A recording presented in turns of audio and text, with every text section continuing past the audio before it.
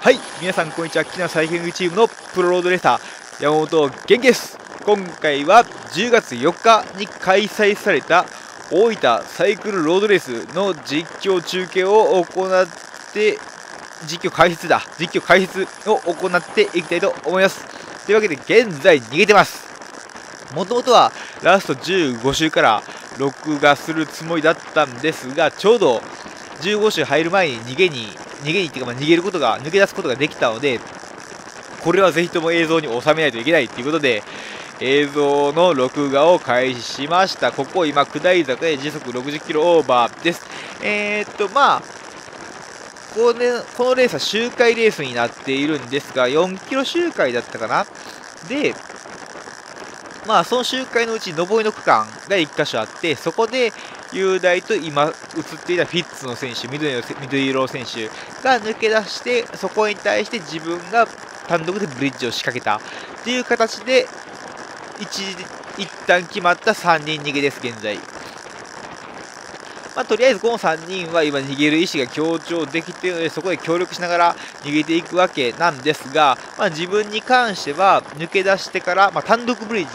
ジですのでまずこの雄大とフィッツの選手が行っているところに1人で追いつくまでに結構時間がかかっていて、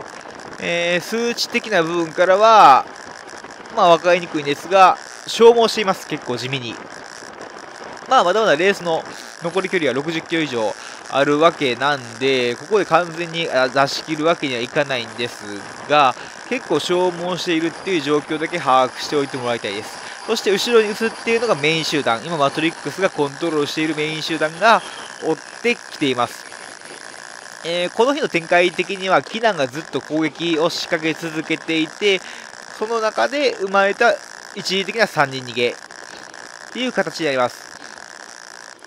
まあ、マトリックスとしてはキナを逃がしたくなかったのか、結構追ってきて潰されていた展開です。というわけで今、後ろから1人アタックしてきました。さらにブリッジですね。前の3人、自分たちに対して。で、これが山本正樹、自分の弟です。というわけで今、4人逃げになりました。はい、1、今、正樹が追いついてきて先頭4名です。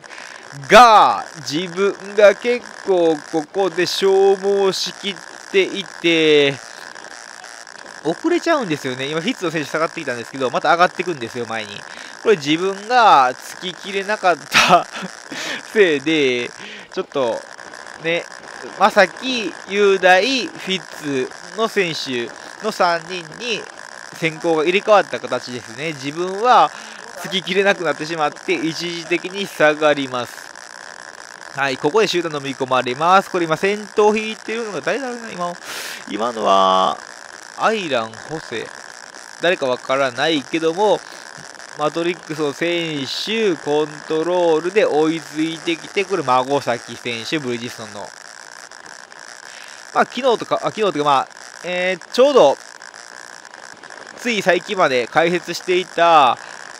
大分イコール道クイテリウムの翌日に行われたレース、たレースです。で、今映っているのが孫崎選手、その右側に徳田卓選手が映っています。卓は自分の大学の後輩ですね。え A やの1個下になるので、自分の3つ下でかぶっています。って形で、まあ、基本的に集団の先頭は、キナン、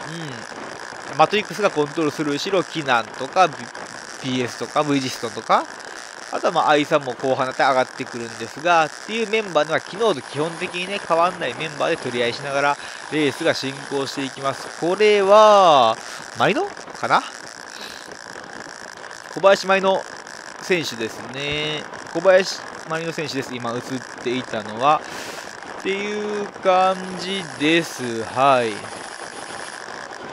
まあ、今、まあ、ここ、後ろ向きに取ってしまうと前の展開が分かんないんで、ちょっと逃げが決まっているかどうかとか分かりにくいんですが、まあ、自分が今、位置取ってる位置っていうのが、えー、マトリックスのほぼ真後ろですので、吸収された選手はすぐに、あ、これ今、フィッツの選手が下がってきたんで、多分、正樹と雄大も一時的に吸収されましたね。で、まあ、今のところは前の方にいるんで、アタックとかがあれば、それ映ると思います。で、まあ、レース展開については、序盤から延々と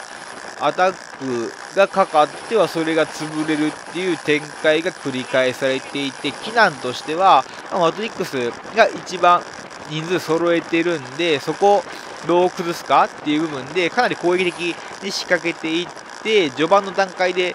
マトリックスのアシスト選手を結構削っていったっていう形になっています。はい。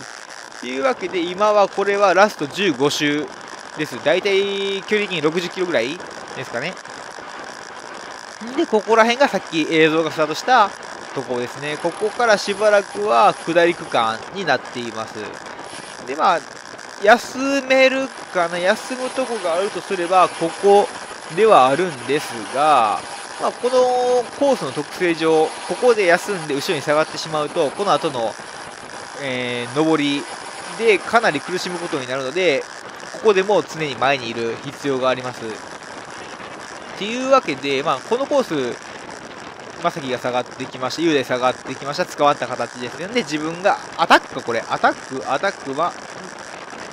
そうです、多分アタック行きましたね、今。アタック行くけども結構みんなが反応してきて伸びてしまう。これ今、えー、ナスブラーゼンの選手とその後ろにキナンがもう1人、キナンじゃない、ブリヂストの選手が1人、これ A やかな？ちょっとわかんないんですけど、が反応してきていて、さらにその後ろにマトリックスの選手も入ってきています。このマトリックスの選手が入ってきたのは集団アイラン？ホセアイランかな？っていう、いや違うか。あー、ホセとアイランの区別がつかないんですよね、自分。なんですけど、まあこれは、えー、動いてきたのは逃げに乗るっていうよりも、逃がさない、逃げを潰すための動きです。で、ここから、えー、下り、ここを、えー、左側、映像向き的左側に曲がった後に U ターンして、上りが始まります。こう上りが上り始めからだいたい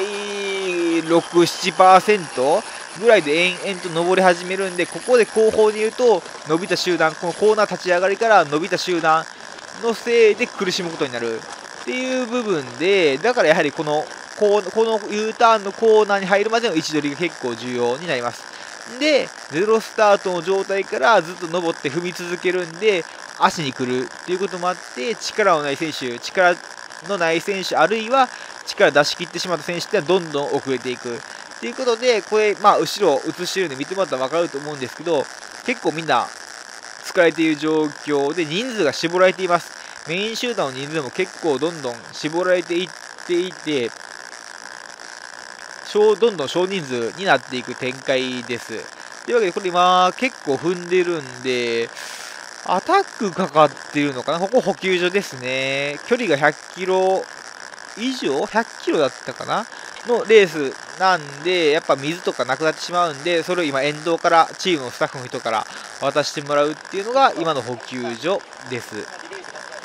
というわけで、ここを今通過してラスト14周に入りました。はい、展開でこの前側が見えないから、誰が逃げてるとかどうとかっていう部分がちょっとわかんないっていうのは少し難点かなっていうふうに思います。なんでそこの展開の部分に関しては自分の記憶を頼りに紹介してみたり、まあ、周回数は分かっているんで、別の JBCF、JPT の YouTube チャンネルに上がっている中継動画とかを見てもらえば、レース全体の展開っていうのは把握してもらえるかなと思います。まあ、合わせてみてもらうとか、そういう感じでいいと思います。これ、畑中さんです。畑中祐介選手、で、木村圭介選手かな島野の。木村選手は同期ですね。自分の。で、これが大前選手。これ左側に小石選手で、V リストは誰かわからない。これ上がってきているのが、大輝かな？安原大輝かな？っていうところです。安原大輝選手に関しては、えー、同じ自分と同じ奈良県出身、奈良県の高校で前者やっていたんで、同県で同じ県でずっと4年間、3年間か、ぐらい、まあ学校は違ったんですけど、同じ県でやってたんで、結構昔からの知り合いっていうかまあ感じですね。